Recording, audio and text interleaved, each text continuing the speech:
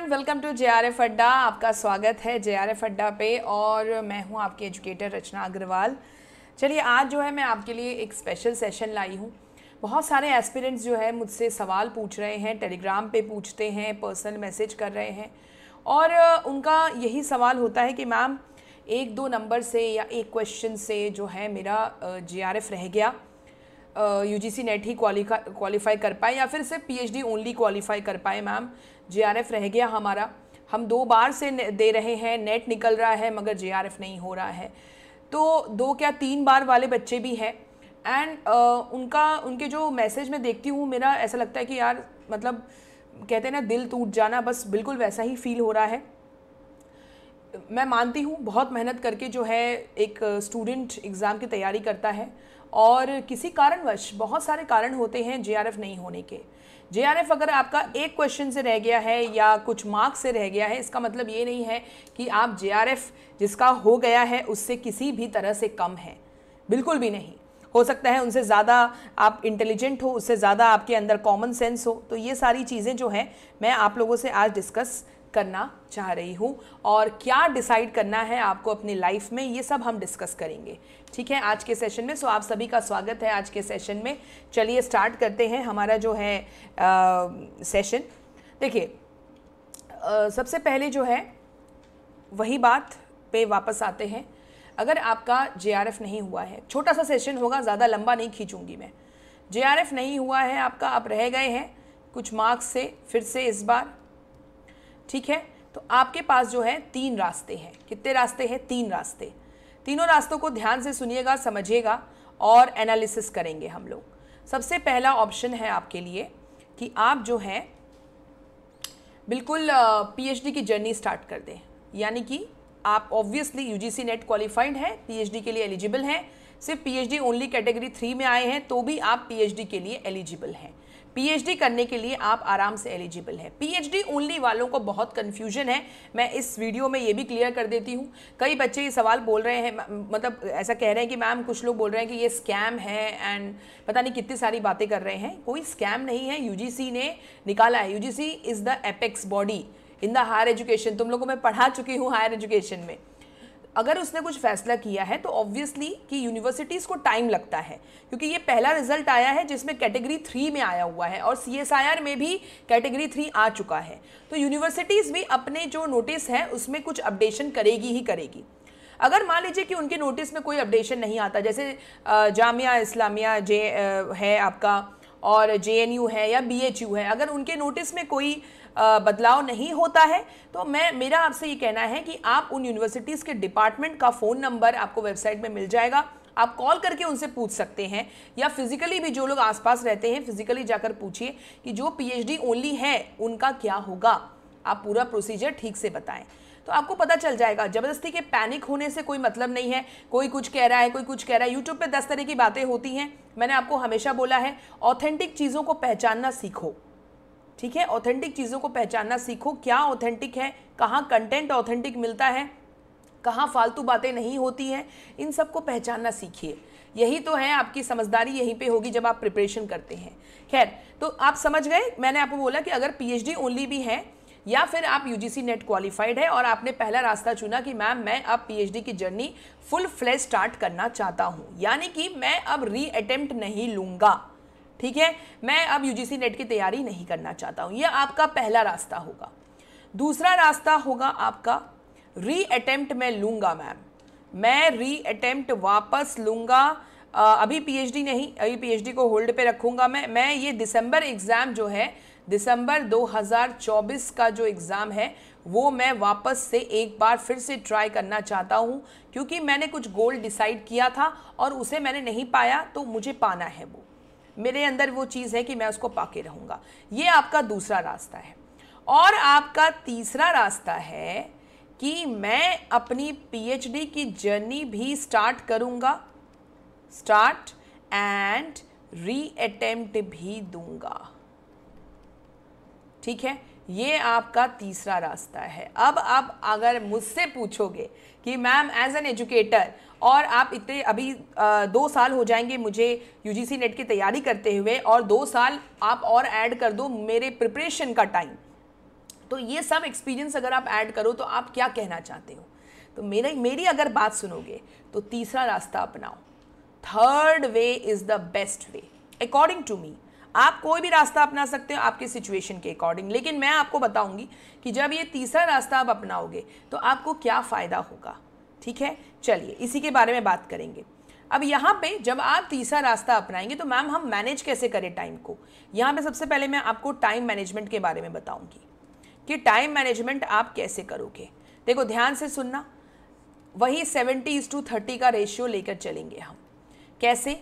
Ma'am देखो अगर मान लीजिए, मैं एक एग्ज़ाम्पल दे रही हूँ, अगर मान लीजिए आपके पास दस घंटा है, मान लीजिए दस घंटा आप पढ़ते हो हो सकता है तो मैं बस एग्ज़ाम्पल बता रही हूँ कि अगर आप दस घंटा पढ़ते हो तो तीन घंटा उसमें से थ्री आवर्स उसमें से आप अपने रिसर्च प्रपोजल को दीजिए।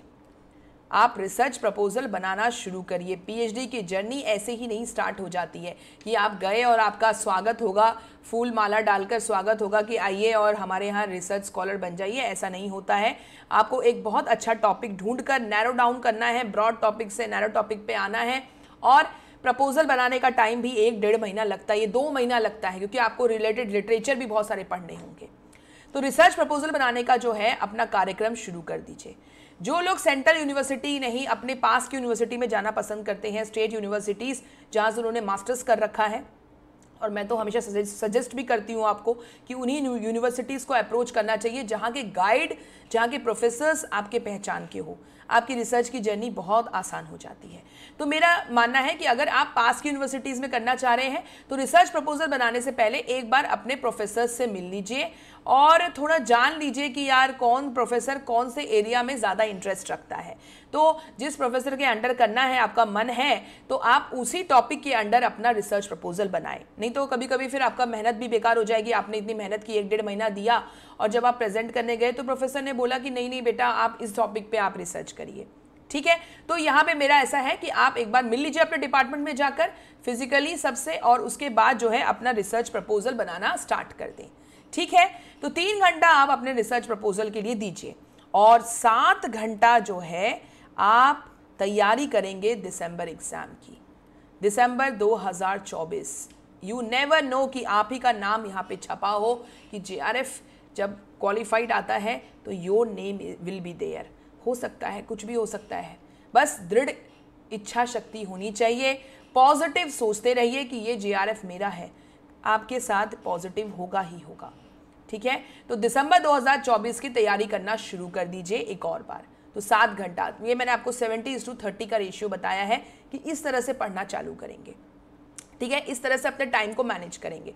अगर आपके पास पाँच ही घंटा है तो फिर आप मैथमेटिक्स लगा दीजिए रेशियो निकालना सबको आता है। पाँच घंटा है पढ़ने का तो भाई देख लीजिए thirty upon hundred into five ठीक है, बहुत इस तरीके से बता रही हूँ, यानी कि फाइव थ्री ज़ा फिफ्टीन अपॉन टेन यानी डेढ़ घंटा आप रिसर्च प्रपोजल के देंगे, और साढ़े तीन घंटा जो है, वो आप किसके लिए देंगे? अपनी दिसंबर एग्ज़ाम की तैयारी के लिए। एक बार वापस। ठीक है? अब इसी बात पे कि मैम हमने हिम्मत हार ली है मैम वही वही चीज़ें पढ़ पढ़ के हम थक गए हैं। तो ना अभी मैंने एक अपने J R F qualified student का इंटरव्यू लिया था और उसकी एक बात मुझे बहुत अच्छी लगी जो मैं आपके साथ शेयर भी करूँगी। वैसे उसकी सक्सेस जर्नी भी जल्दी ही आएगी। आई थिंक ट्यूसडे वेंसडे मैं आपको सक्सेस जर्नी दिखा रही हूँ उनका प्रीमियर पे आएगा। सुनिएगा उसने एक बहुत अच्छी बात बोली कि मैम अगर आ, मैं हिम्मत हार जाऊँगी तो मतलब यार जो भी एस्पिरेंट यूजीसी नेट क्वालिफाई हो रहा है या पीएचडी क्वालिफाई हो रहा है और जेआरएफ क्वालिफाई नहीं हो रहा है तो वो बस एक ही बात सोचे कि मैंने क्या सोचकर जो है स्टार्ट किया था। क्या सोचकर जो है मैंने स्टार्ट किया था ये प्रिपरेशन करना। बस उसी सोच को बरकरार रखिए। और अपने लक्ष्य से भटकना नहीं है। आपने लक्ष्य निर्धारित कर लिया कि मुझे जेआरएफ निकालना है असिस्टेंट प्रोफेसर बनना है तो बस उस गोल को पाने के लिए लगे रहिए। एक बार नहीं, दो बार नहीं, तीन बार नहीं, चार बार नहीं, पाँच बार नहीं, छह बार में निकलेगा। आपके पास एज है, नंबर ऑफ़ अटेम्प्ट की कमी नहीं है। आप यूपीएससी वालों को देखिए, चार अटेम्प्ट मिलता है, वो चारों अटेम्प्ट देते हैं वो, और कभी कभी चौथे अटेम्प्ट में उनका निकल जाता है। तो यू नेवर नो आपके लिए कौन सा अटेम्प्ट लिखा हुआ है तो आप अपनी हिम्मत ना हारे, और अगर आप दो मार्क्स से रह गए हैं या एक क्वेश्चन या दो क्वेश्चन या चार पाँच मार्क्स से भी रह गए हैं तो आप समझिए कि आप बहुत ज़्यादा करीब हैं, यानी कि आपकी तैयारी बहुत सही है। आपकी तैयारी में कमी है कमी है तो वो बस आपको ढूंढना है कि कहाँ पे मैं कम रह गया। या तो मॉक टेस्ट लगाने में कमी रह गई मेरी, जिसमें कि मेरा स्पीड कम रह गया, या फिर मैंने सिलेबस पूरा ठीक से कवर नहीं किया था, वो अब मुझे करना है, जो वीक एरिया है उसको स्ट्रॉन्ग करना है। ऐसे बहुत सारी चीज़ों को बस आपको एनालाइज करना है। और देखिए आपको रास्ता मिल जाएगा। रास्ता क्लियर है आपके लिए। तो अब दिसंबर एग्ज़ाम की जब आप प्रिपरेशन स्टार्ट करेंगे तो सबसे पहले आप एनालिसिस करेंगे अपने वीकनेस का। टाइम लीजिए, दिवाली तक का टाइम है, पूरा टाइम लीजिए। आप अपने वीकनेस को एनालिसिस करेंगे कि कहाँ मैं कम पड़ गया या कम पड़ गई और उस पर काम करना चालू करेंगे। जो आपके स्ट्रॉन्ग यूनिट्स हैं, अभी उसको थोड़ा सा साइड में कर देंगे और जो आपके वीक यूनिट्स थे वो उस पर अब आप फोकस रखोगे, चाहे पेपर वन में हो, चाहे पेपर टू में हो। इस पर फोकस रखिए, पर स्ट्रॉन्ग यूनिट्स को नेग्लेक्ट नहीं करना। ये भी ध्यान दे दूँ ये भी आपको इंपॉर्टेंट बात बता दूँ। इसको भी साथ में लेकर चलना है। लेकिन थोड़ा कम टाइम देंगे वीक यूनिट्स को पहले स्ट्रॉन्ग कर लेंगे अपना।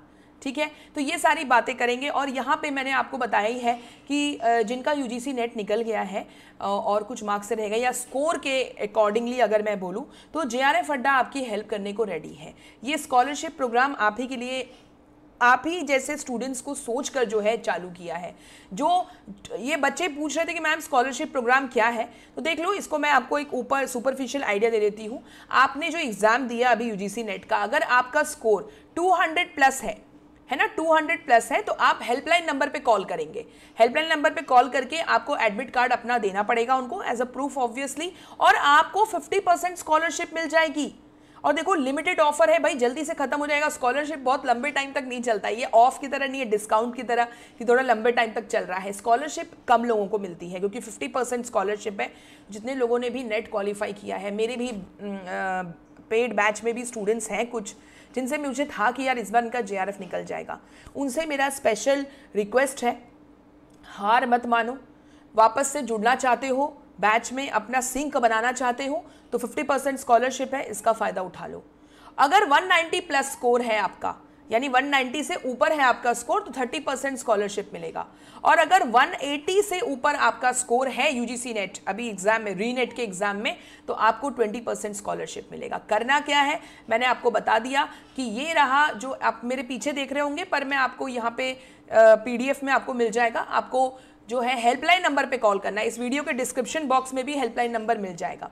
हेल्पलाइन नंबर पे कॉल करिए और उनको अपना एडमिट कार्ड दीजिए और आपको स्कॉलरशिप तुरंत दे देंगे वो। आप बैच ज्वाइन कर लीजिए। ज़्यादा लेट नहीं करना है। अब जो बिगिनर है मैम हम तो बिगिनर है हमको कैसे स्कॉलरशिप मिलेगी? तो बिल्कुल भी घबराना नहीं है। जो बिगिनर है उनके लिए ट्वेंटी परसेंट ऑफ़ चल रहा है। ठीक है? और बैच देख लीजिए J R F Adda premium batch paper one plus education का बैच है। आप इसके आप, आप आपके पास इसमें चॉइस है। आप ओनली पेपर वन भी ले सकते हैं ओनली एजुकेशन भी ले सकते हैं या दोनों का कॉम्बिनेशन अगर आपका दोनों सब्जेक्ट है दोनों पढ़ना चाहते हैं तो दोनों भी ले सकते हैं आप। ठीक है? और ऐसे ही साइकोलॉजी भी मैं पढ़ाती हूँ तो इसमें भी आपके पास चॉइस है। साइकोलॉजी वाले स्टूडेंट्स को भी भाई हमारे एजुकेशन बैच में धमाका हुआ है।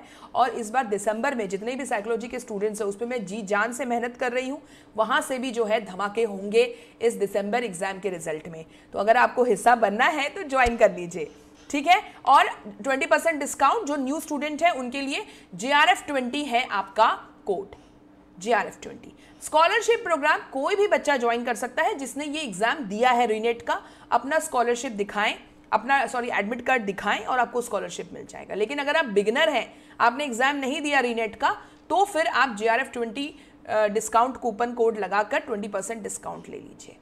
तो ये आपको बताना था। लेकिन आपको आपको हमेशा पता है कि J R F Adda paid batch के लिए नहीं है, ये जो है हमारे यूट्यूब लर्नर्स के लिए भी है, जो पेड बैच एफर्ड नहीं कर पाते हैं, उनके लिए भी जे आर एफ़ अड्डा हाजिर है भाई। हम हम एजुकेटर्स आपको पढ़ाने के लिए हमेशा तत्पर रहते हैं।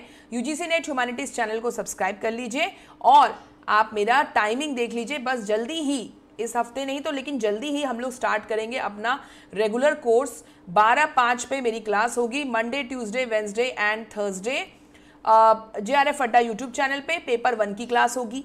साढ़े सात बजे J R F Adda channel पे एजुकेशन वाले बच्चे जुड़ेंगे मंडे ट्यूसडे और वेंसडे ये नेक्स्ट वीक से स्टार्ट हो जाएगा आपका। और साइकोलॉजी वाले बच्चे भी थर्सडे फ्राइडे सैटरडे साढ़े सात बजे, पर इनका चैनल है यूजीसी नेट ह्यूमैनिटीज़ तो यूजीसी नेट ह्यूमैनिटीज़ चैनल को ज़रूर सब्सक्राइब कर लेंगे सारे साइकोलॉजी के स्टूडेंट्स जो मुझसे पढ़ना चाहते हैं। ठीक है? तो और इसी के साथ साथ J R F Adda app को भी डाउनलोड कर लीजिएगा। चाहे ही आपको बैच नहीं लेना, पर ऐप ज़रूर डाउनलोड करके रखिए। क्योंकि जब भी मॉक टेस्ट आता है फ्री मॉक टेस्ट इसका नोटिफिकेशन आपको मिल जाएगा और आप मॉक टेस्ट भी दे सकते हैं। और कितने ऑल इंडिया रैंक होल्डर्स जो हैं, उन्होंने मॉक टेस्ट के बारे में बताया है। आप इंटरव्यू में सुनना कि कैसे उनको जो फ्री मॉक टेस्ट है, वो जब भी आता था ऐप पर, उन्होंने लगाया है और वो उनको बहुत फ़ायदा दिया है। कम से कम 10 से 15 क्वेश्चन मॉक टेस्ट और मैराथन से उसको मिल गए। तो यू कैन अंडरस्टैंड कहाँ क्या फ़ायदा हो जाएगा? यू नेवर नो तो भाई, मैंने आपको पूरी स्ट्रैटेजी बता दी है। मैम क्या करना है? ये आपको डिसाइड करना है। यू हैव थ्री ऑप्शंस पर मेरे हिसाब से आपको तीसरा ऑप्शन ऑप्ट करना चाहिए। ठीक है? तो thank you so much everyone tata bye bye take care all the best for your preparation कोई भी डाउट हो, इस वीडियो के कमेंट सेक्शन में ज़रूर लिख देना। और आपके डाउट को भी मैं रिजॉल्व करूँगी. Thank you so much